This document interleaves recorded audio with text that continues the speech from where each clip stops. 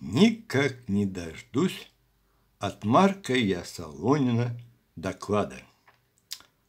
А со взрывотехниками а в Качинского самолете объемном взрыве его консультации результата. Ладно, он не понимал, что выдвижение предположения об этом взрыве ему со взрывотехниками консультироваться было надо. Но сейчас-то этого почему страшат такие консультации психопата? Вот, пожалуйста, он сам признался, что до выдвижения своего предположения об объемном взрыве